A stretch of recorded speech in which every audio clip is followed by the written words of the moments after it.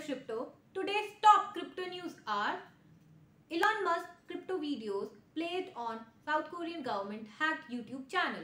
According to the report, the South Korean YouTube channel was hacked and renamed as SpaceX Invest. The hacker later posted a series of Elon Musk videos addressing cryptocurrencies to promote crypto scam. The representative from Ministry of Culture and Tourism, the hack was immediately detected, security steps were taken and the account was restored in just few hours. Nigeria teams up with Binance to establish digital economic zones. Binance and Nigeria are in talk to establish blockchain-based digital economic zones. In West Africa, these new digital economic zones will help entrepreneurs turn to blockchain technology. Recently, Binance has been on an unstoppable expansion drive.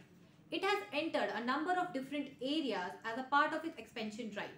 The Changpeng Zhao led crypto exchange was viewed as a supporter of government in moving towards the crypto and blockchain technology.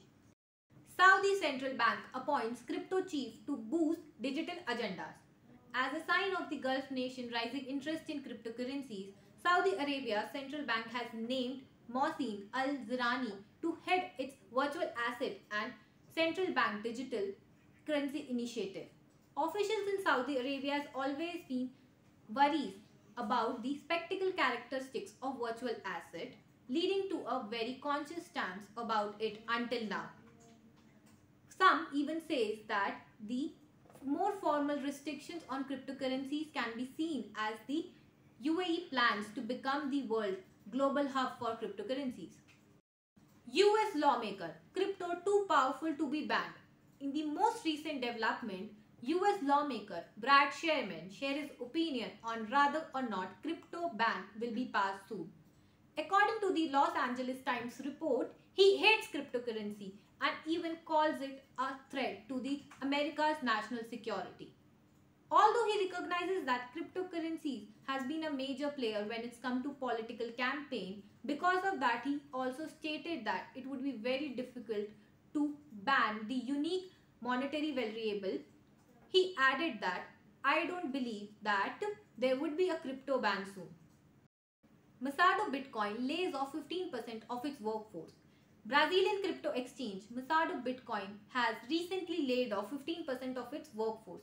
According to the exchange, the decision was made keeping in mind the ongoing global economic crisis which has resulted in the downtrend of crypto market.